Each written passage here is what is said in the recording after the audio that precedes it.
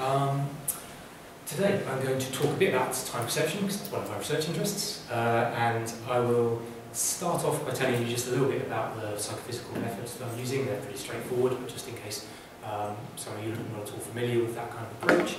Uh, and then I'm going to try and talk about three things. Um, I'm going to talk a bit about uh, chronostasis, which is uh, an illusion of time perception, which I looked at many years ago during my PhD and postdoc, but slightly embarrassingly is probably still the most interesting thing I've done. So um, that's getting sort of jacked in at the beginning. Uh, also, that's got eye movement in it, and I was told there are some eye movement people here.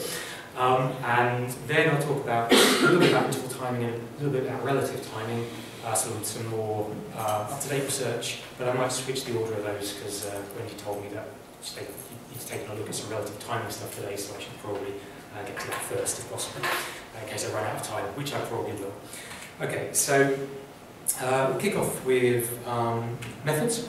Uh, so in the world of timing, there are sort of two different kinds of time perception which we can think about. Uh, the first sort of time perception is interval timing. So the sorts of things that you would associate with explicit interval timing tasks would be uh, foraging, if you're an animal, then you need to know uh, how often you should go back to a particular feeding place because there might be some useful new food there, it might have kind of restored itself for your benefit. Um, or if you're a human forager, you might want to know how long it is before you should turn off the cooker because your egg is boiled.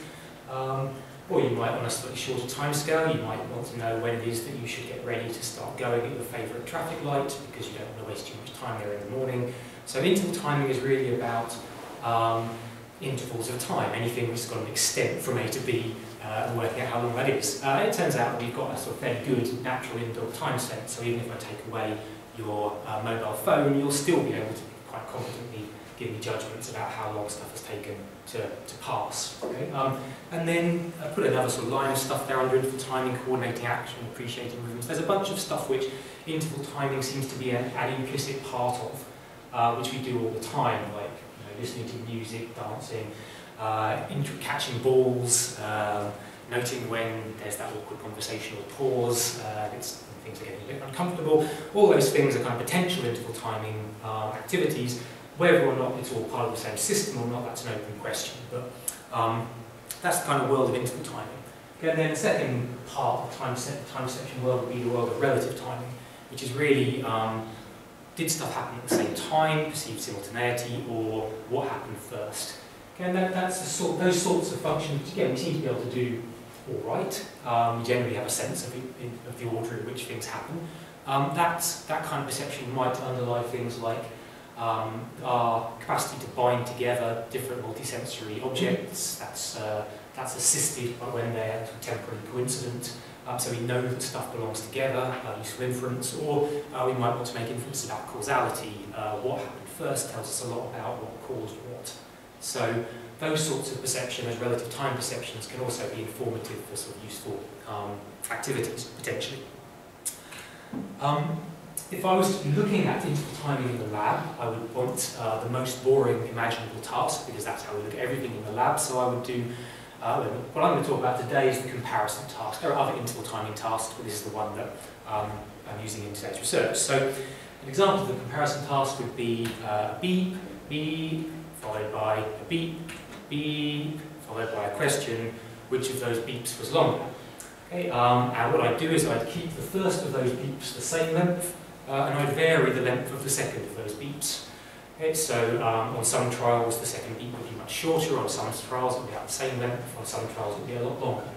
Then what would happen is you get a um, pattern of data looking roughly like this, so when the second one is a lot shorter, you wouldn't tend to say it's longer. When it's a lot longer, you would always say it's longer. When it's roughly the same, you would get some uncertainty in the middle of the graph there. Okay, um, and then I probably want to make sense of all that data and summarize it. So a typical thing to do would be to fit some kind of observer model through it uh, and use that to extract something, some sort of summary measure like um, the point of subjective equality is the standard measure for bias. So that would tell me how long do I need to make the second beep for it to seem the same duration as the first beep to you. Uh, maybe I need to make second beep 600 milliseconds so it seems the same as a half second first beep because you've got some sort of weird bias. And in fact, it's pretty likely you do have some, some sort of weird bias, most of us do. Um, if I'm looking at relative timing, I can use similar kinds of approach to get out some useful summary measures. So on the left here is data from the task called the temporal order judgment. If you look up to the top right, you'll see my extremely impressive graphic of a temporal order judgment task, just something like that. Okay, so I'll do that again, and then you can all tell me what was what came first, the flash or the beep. Flash, flash. good job. Okay, so that was flash beep. So the audio visual SOA was over this end if I'm coding beep as positive. Okay, so you would never say, you would always say the sound came the right way around. You'll figure it out.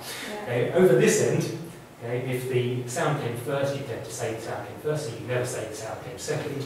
Over this end, the sound comes second, and you tend to say the sound comes second. In the middle, we've got uncertainty. Again, you can fit it with some sort of observer model uh, and work out, in this case, maybe something called the point of subjective simultaneity. So when do I have to present the flash and the beep so that you feel as if they come at the same time?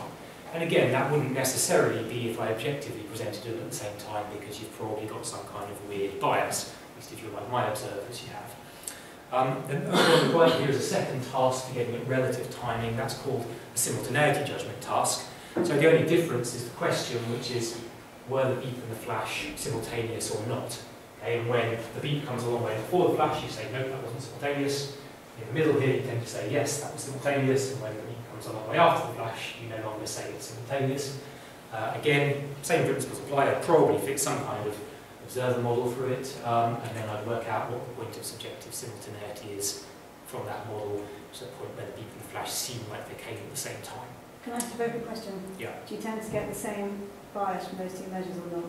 Not exactly. Because that was that was one thing we were wondering when reading the paper this morning was why you picked one task rather than like because they were using the sim simultaneity judgment. That seems a bit weird to me.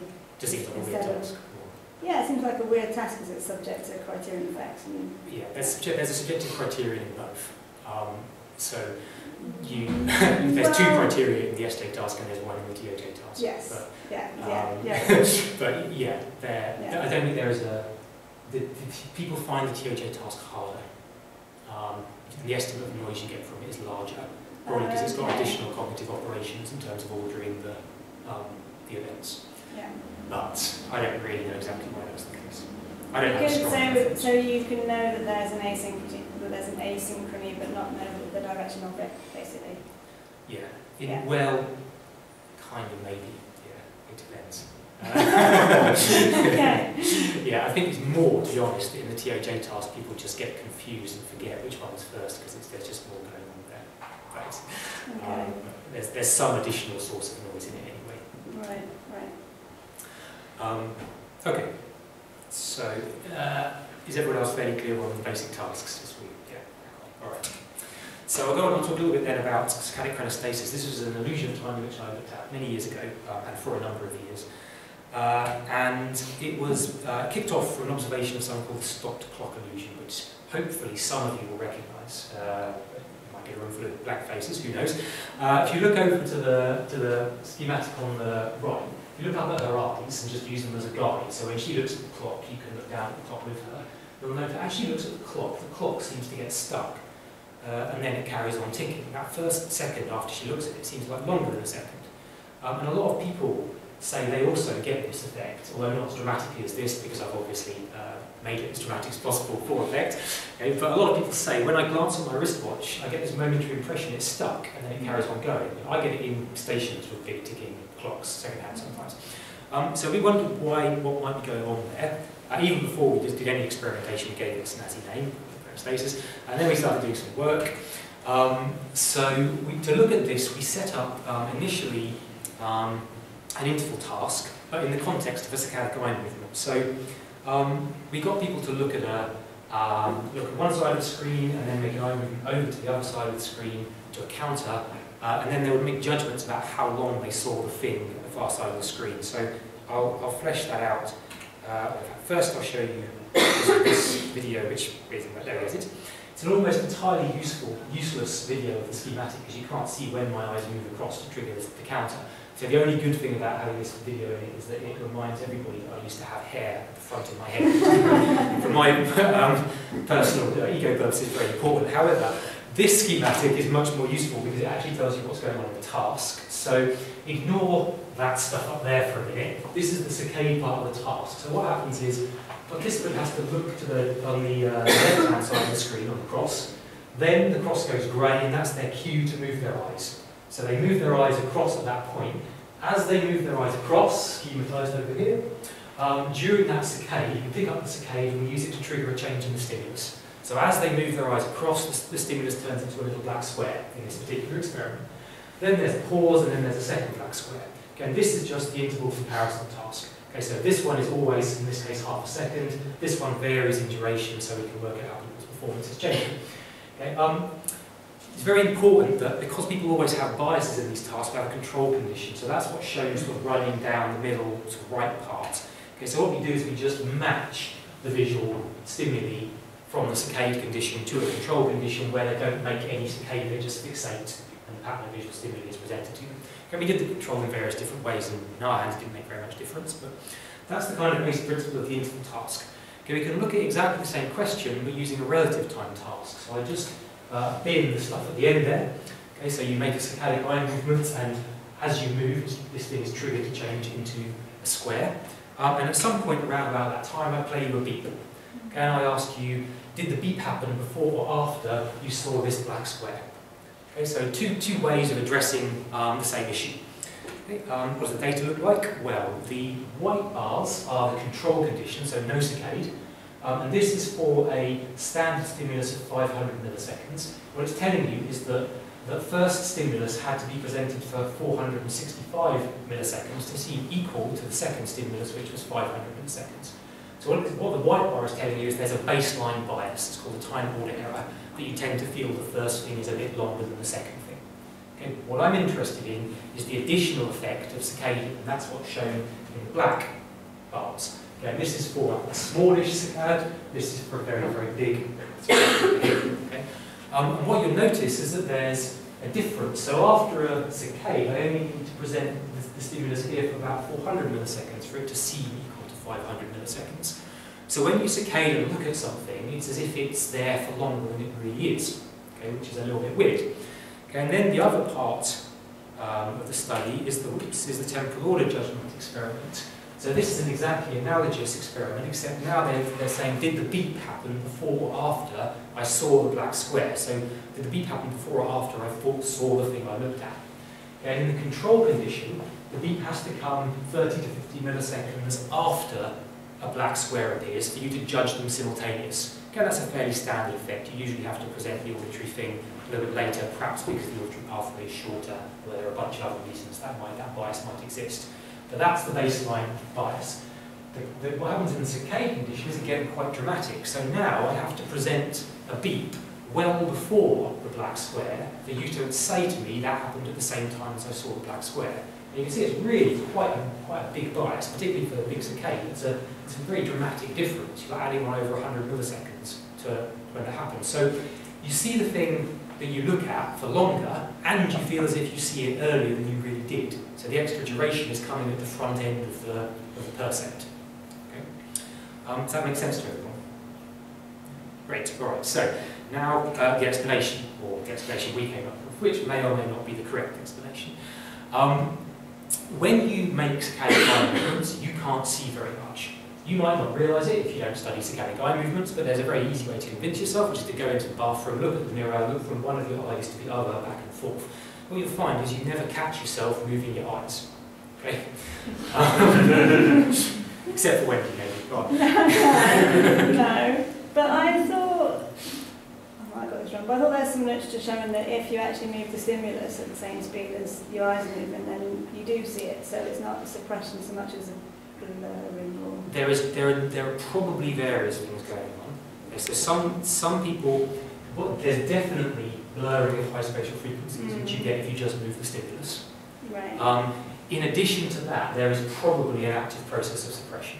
And that happens even if you move the stimulus with the eyes, so that they're...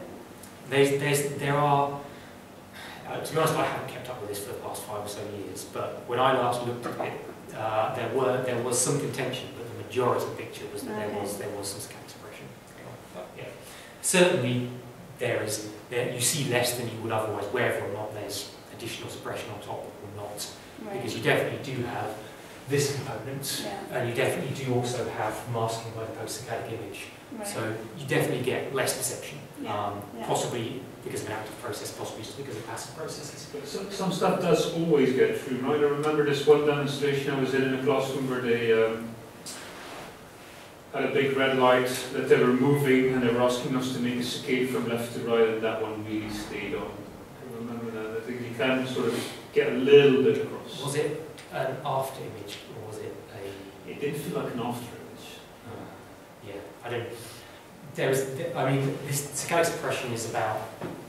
I forget now. Actually, I think it's sort of one log unit of suppression or something like that. So you might think it suppresses, but it can't suppress. It's probably it's certainly not going to suppress everything. Well, Doing that, something bright. yeah, that would be compatible with what I saw, that you got a little bit of that falls through. Yeah. Um, David Burr would be the person to. Yeah, well, I was thinking that, I thought David Lowe was the one who did that, the study when you move it with the eye movement. No, he's, he's, this is his, the saccadic suppression story is, Oh, is his his story. baby. Oh, okay, he was in that. Uh, so, um, I think the guys who do that, some French guys, might forget. Anyway. Um, okay, so um, to some extent you see less during we'll argue about exactly how much, but to some extent you see less when you're moving your eyes. So the suggestion I'm going to make is that you don't have any sensation of a temporal gap, even though this the, the saccadic suppression story tells you there ought to be, what ought to happen is not that you don't experience your own saccade, you ought to see little dimmings in perception. You ought to see properly and then dim and then properly and then dim and then properly every time you move your eyes. Okay, now also the, the world can jump around in weird ways, which is where efference and afference comes in, which we don't have time to talk about, but there are, there are processes to deal with this, and one possibility is that chronostasis is dealing with the temporal aspect. It's stitching up your perceptions from a temporal perspective so you don't have experience gaps. So it's like temporal filling in. It's like, you know, the schematic, here's your saccadic eye movement, here's what you see at the end of the eye movement. It's like backfilling the period of your eye movement with the image you see at the end of the eye movement.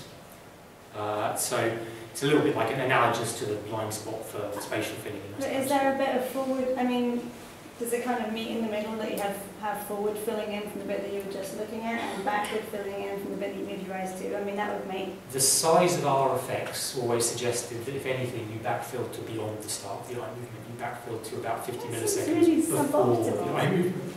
Yeah.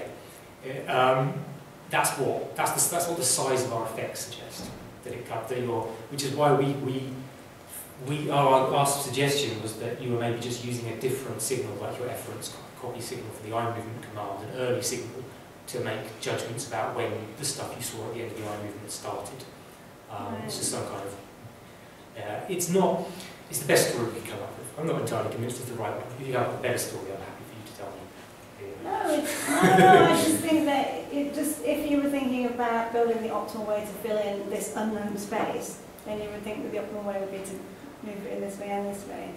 Unless it's something about moving, because the other thing is that when you move your eyes, you uncer- I mean, and if the event has already started, like in the clock thing, then there's uncertainty about when the start point was, if that makes sense. So if you like then think, oh, I'm going to be lazy about this, and I'll presume that on average I've moved in the middle of a time, a tem- temporal event, then my, my optimal e- estimate of the total length of that Yeah. is like double what I actually saw. Does that make sense? No, I, I don't think there's an optimal explanation for this. I don't, I don't, so the, the account may, may well fall down just on that basis. I don't think you, I don't think you with, and I agree, if you want, if you wanted to generate optimal percept, you'd be more likely to somewhere like in the middle. Yeah. Um, that doesn't seem to be what's going on in the temporal data.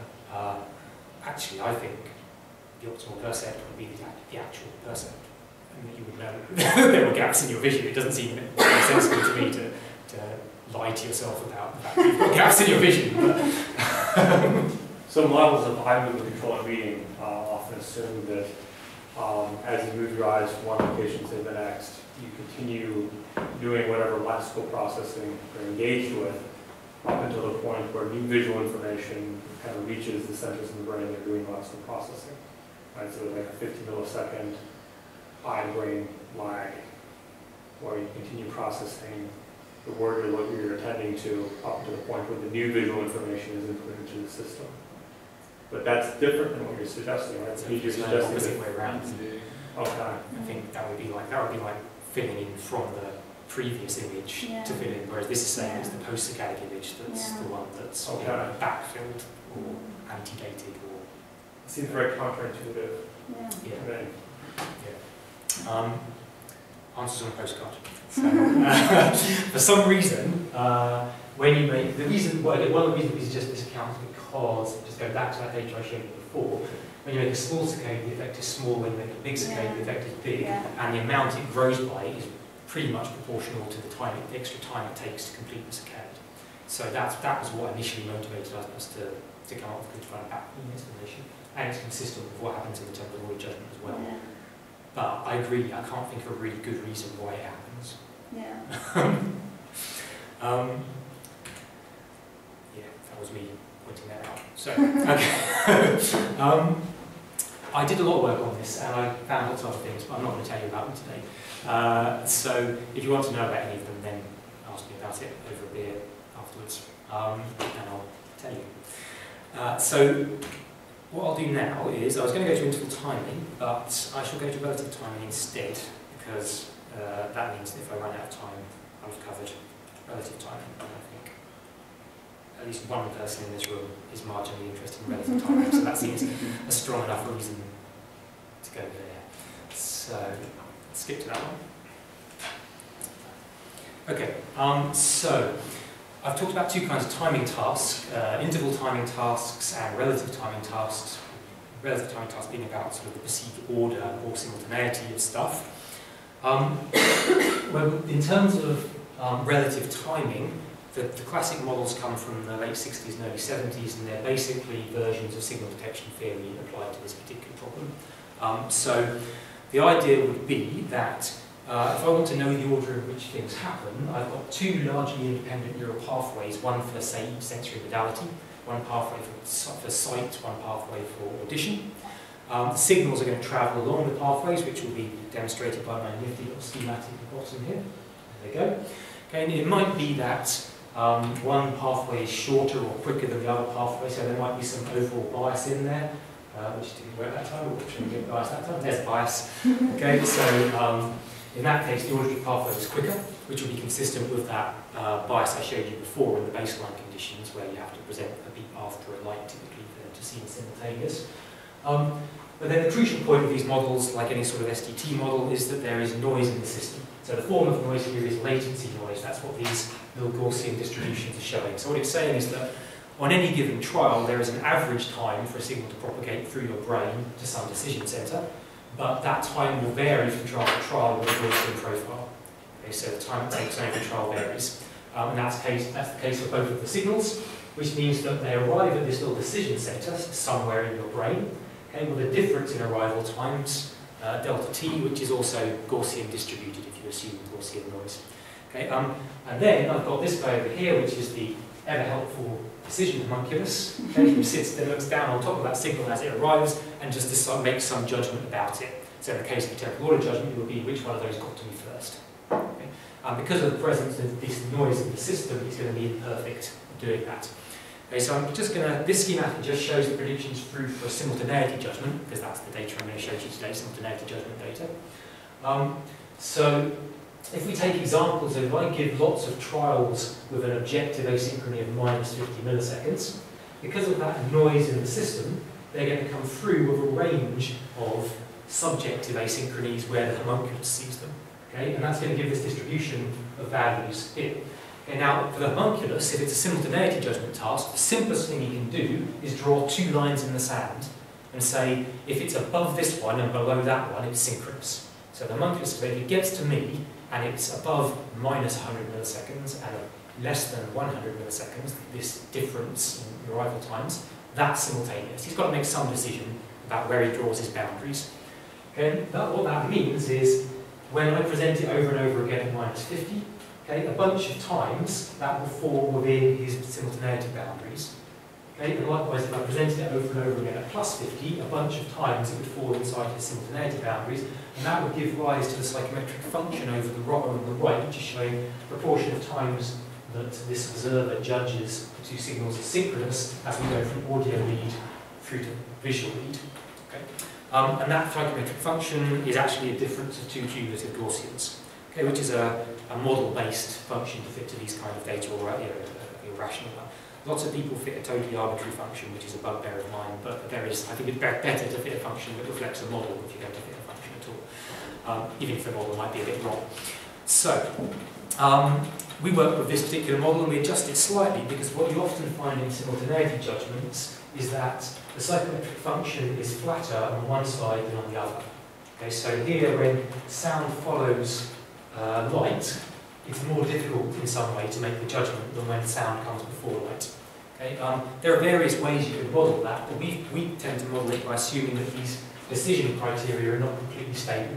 Okay, so they have their own noise. You can't, you can't draw your line in the sand exactly the same from trial to trial to trial, and perhaps it's particularly difficult to hold it in the same place in the kind of sound follows light condition, and less difficult in the light follows sound condition which would follow somewhat from what we know about the likely internal temporal profiles of those signals, because the visual signal is likely to be more smeared than the auditory signal. Uh, an internal memory kind of has uh, a, uh, a lesser degree of, a greater degree of uh, temporal filtering. So that's the model we're going to be thinking about. Okay, and then I'm going to um, apply that and some other modelling in the context of another weird temporal illusion. Okay, so temporal effect at least. The temporal effect now is temporal recalibration, which was described by um, these two groups in 2004. Okay, and the way to think about this effect is, imagine you go to the cinema uh, and the film is out of sync. So they, they haven't synced up the soundtrack to the visual properly.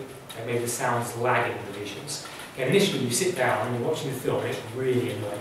Okay, it's like and then maybe over the course of the film, you begin to adapt to that new temporal relationship and you begin to, you begin to get comfortable with it.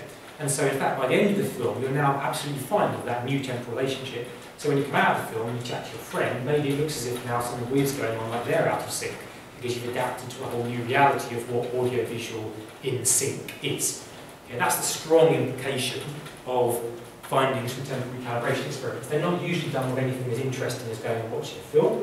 They're usually done with things like trains and flashes and beeps. So this is the Fujisaki study. You've got uh, adapters, which are something like flash beep, flash beep, flash beep, flash beep, flash beep, and then you go test stimulus, flash beep, and you say, was that simultaneous or not? Okay, and you do that in different conditions. So you could do it without any adapters in baseline condition. You could do it with adapters where the flashes come before the beeps, or adapters where the flashes come after the beeps, or zero adapters. And psychometric function seems to move around in response to that. Okay, so uh, after seeing a lot of flash followed by beep, I start to judge flash followed by beep as synchronous, which I didn't before I started the experiment. Okay, uh, and vice versa for flash precedes beep the right way around. Um, okay, so what's going on in terms of recalibration? Well, broadly, at this point, there are three accounts out there. Um, one of them is the latency shift account. Okay, and that's the idea that what recalibration is doing is it's somehow lengthening or shortening one of the two pathways relative to the other one. Okay, now, it's probably not realistic to say in physiological terms it's literally lengthening or shortening the pathway, but you can change transduction times by raising thresholds along a pathway to slow it down or something like that.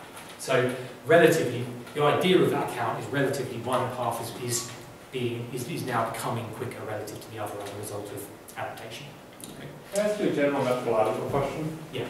So the studies you're talking about up to this point, we're all talking about simultaneity judgments across two different modalities. Yes. Is any of this work done within a single modality? Because it seems like you might get more leverage on actually getting a dish with hard temporal judgments rather than comparing apples and oranges with auditory versus visual.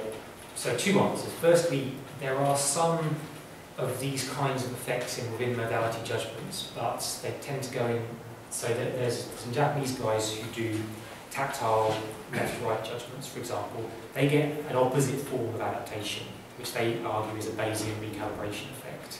Um, so people do look at it within modalities. The second answer I believe is I tend to avoid looking at within modality cross-modal time. In the most obvious case, vision, it's going to depend on your motion detection system. So it's asking a slightly different question. It's asking a question about motion rather than a question about time as such. Um, but that's my personal take on it. But yes, people do look at temporal adjustments within modality as well. You get something like There's been a bunch of stuff on um, colour changes versus motion changes, so shouldn't you do some of that, yeah. those things? You, you get this kind of recalibration for colour get- and motion. Yeah, Yeah. right. but you do get weird temporal devices within, Okay. within vision, but and there are lots of explanations for why. Yeah. Well, there's a whole debate on it, whether it's because you're comparing first and second order changes. blah, blah, blah. Yeah. Um, okay, so, uh, right, model number one, latency shift. One modality is getting accelerated or decelerated. I thought what they were really saying in that one is that not that you're sort of speeding up or slowing down your processing, but you're changing your criterion for when, when an event has happened. Yeah, in, in, in, in terms of the model I just showed you, those are the same things because Okay. that model doesn't have any, it doesn't, it's not a full reaction time model which builds a, uh, a sort of evidence accumulation to threshold. Right, okay. it- it's just subsuming that in a, there is variability in the timing of these signals actually after shift. Yeah. Okay, So, um, yes, it's okay. Well, just because it starts to sound a bit daft if you say that somehow you've made the neural pathway shorter, like, You've changed, why, you've, why, you've changed the speed of transduction would be a more Yeah. accurate description.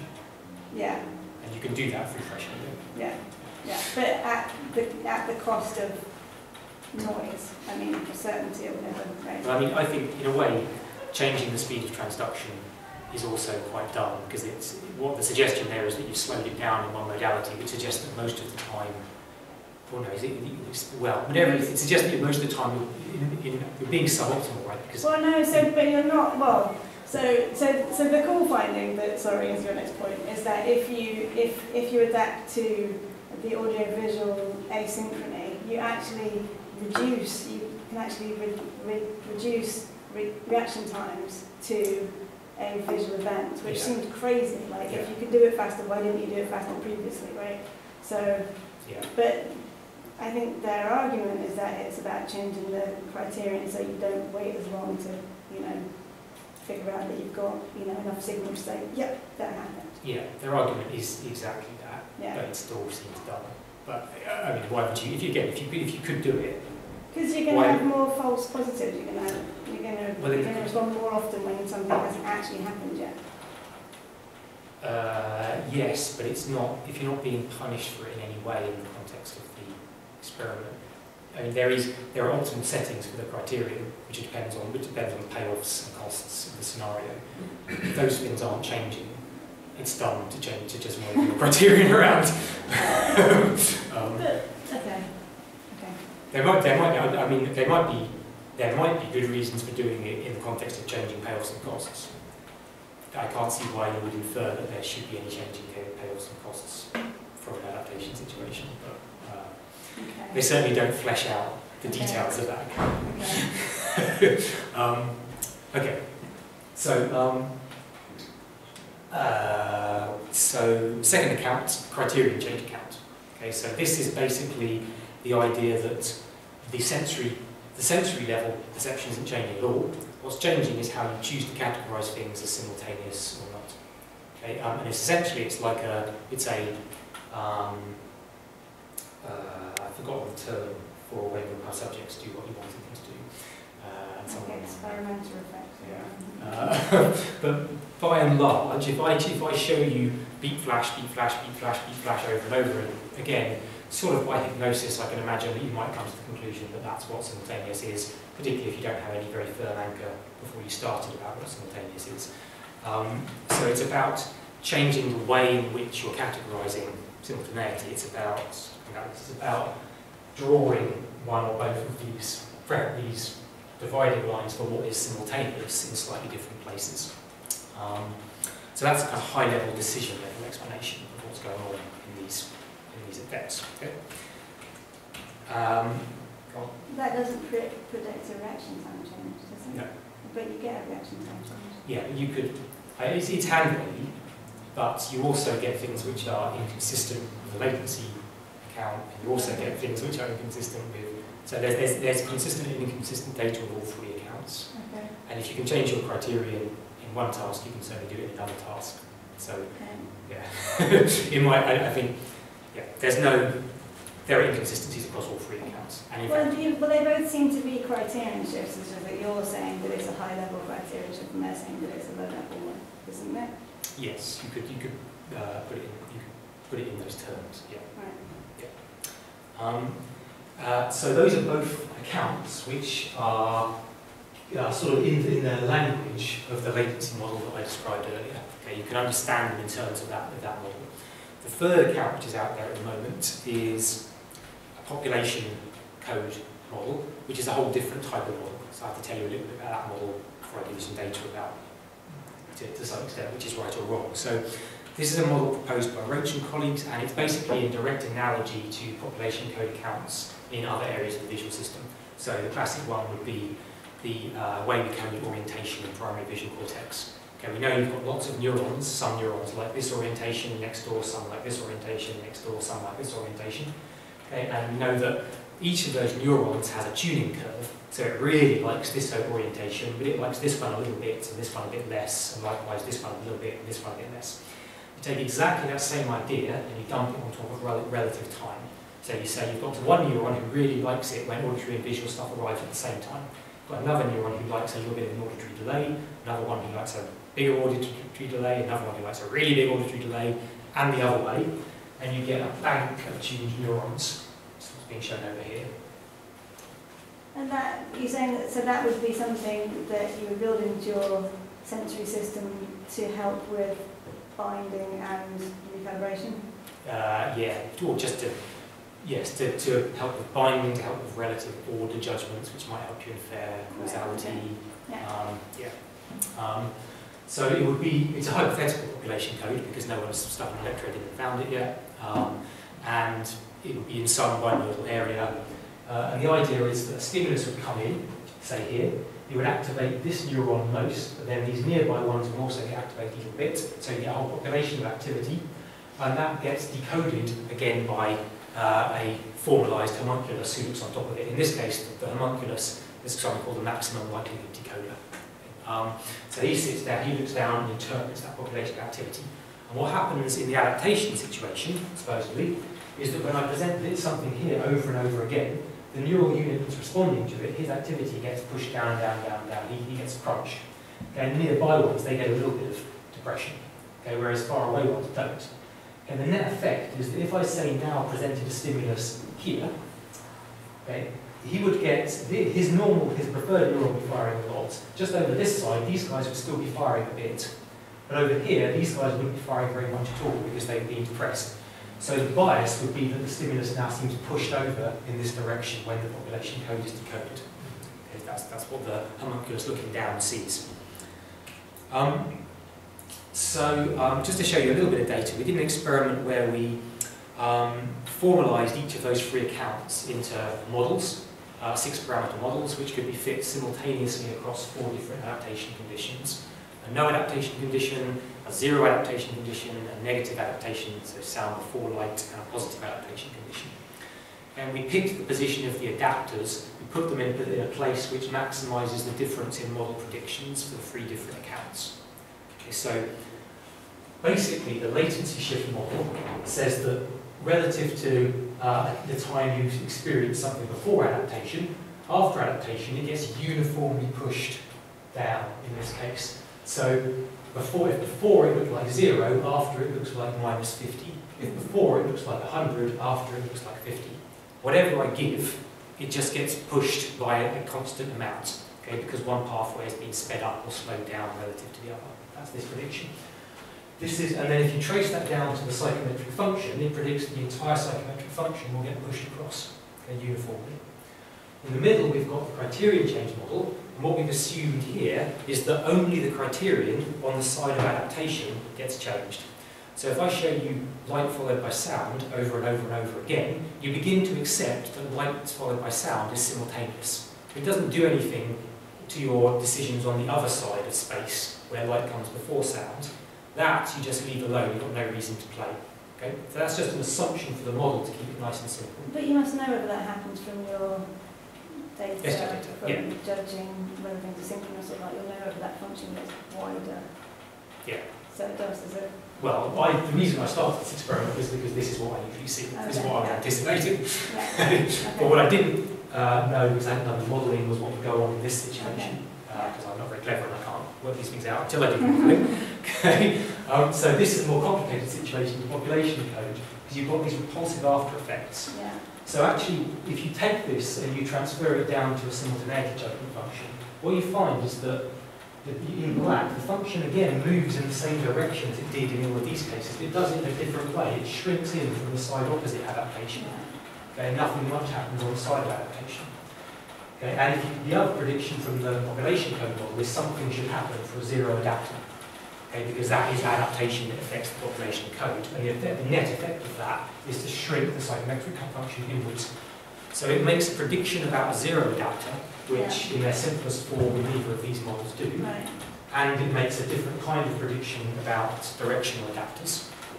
Um, and actually, what most people have traditionally done in this literature is just look at point of subjective simultaneity as being the peak of this function. Yeah. And in those terms, all of the models predict what happens, which is that the peak of the function moves in the direction of adaptation. Okay, so unless you drill down into the actually what's going on in the psychometric details of the psychometric function, you can't tell if any, if any of the models are more correct than others, at least not with this kind of data. Um, so, uh, I'm going to skip to the uh, results. We did a standard kind of adaptation experiment. And what we found was a little bit mixed.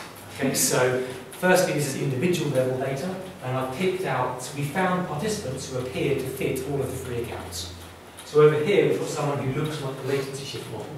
Okay, their psychometric function doesn't really shift between baseline and zero adaptation. The whole thing moves left of sound first adaptation, the whole thing moves right of sound lag adaptation. In the middle, we've got what I expected to see most of, the criterion change prediction, where, again, nothing much happens from baseline to zero, but just one side of the function pulls out for AV adaptation, and the opposite side of the function pulls out for VA adaptation. And then finally, we've got an observer over here who looks like like the population code model. For zero adaptation, their function shrinks inwards. For AV adaptation, it's the opposite side which is now pulled in. Likewise, for VA adaptation, the opposite side is pulled in. So we get individuals who appear to fit all of the accounts. At a group level, though, it's quite clear that the population one is losing. Okay, so if you look at the, if you take these six parameter models, you fit them across the whole set of data, you get, uh, you use mean log likelihood as an estimate of the goodness of model fit, which you can do because they've all got the same number of parameters. Okay, um, you find that the population model fits the worst, significantly the worst. And it doesn't really matter if you play around a bit and try and, I don't know what's happened to those but anyway, you play around with it a bit and try and take out some reasons why that might be the case, which I won't go through in any detail, it's still just always the worst. Um, so, the conclusion from all of that would be that in this particular data set, the criterion shift change model was the best, but only just. It wasn't significantly better than the latency shift model, and they were both better than the population code model to explain this kind of recalibration. My suspicion is that we need a more complicated model because there's so much heterogeneity in the data that it's suggesting that some observers are doing more complicated things than what any one of the simplified models can capture. My preference is to allow the criteria to change a bit on both sides or to come up with a principled reason for allowing that to happen because that's really what I think this is about. I think this is about reclassifying simultaneity, not about fundamental perceptual change. Okay, but I don't have, from this data, a really strong reason to say, well, why not complicate one of the other models instead and allow that to do a good job. Um, so this point, a little bit hand wavy. Um, yeah, time is up, so I'll, I will not do the interval timing bit. Uh, so it's a good job I skipped that. I'll just go to, uh, that's it, the summary. Uh, time perception is a bit weird. All sorts of strange stuff happens to it, like recalibration effects, adaptation effects, weird stuff when you move your eyes. And actually, if you do want to find an experimental effect, if you're struggling at the end of your PhD because your experimental effect hasn't happened and you've got only no effects, just do anything in a time perception task and it will change time perception. Um, at this point, there's not a lot of agreement about the basic models of time perception. I didn't get onto the interval models, which I would have been poo-pooing, but um, there's not a lot of there's not a lot of agreement at this point. Um, although there are some ideas about where to kick off from. Uh, and the first one, uh, if my smorgasbord of timing is left too cold, don't worry. Um, judging by the citation counts I get, uh, nobody else cares either. um, thanks very much to all these people who helped a lot in setting that up. Uh, and thanks very much for listening.